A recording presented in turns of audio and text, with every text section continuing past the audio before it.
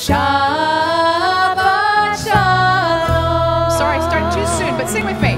Shabbat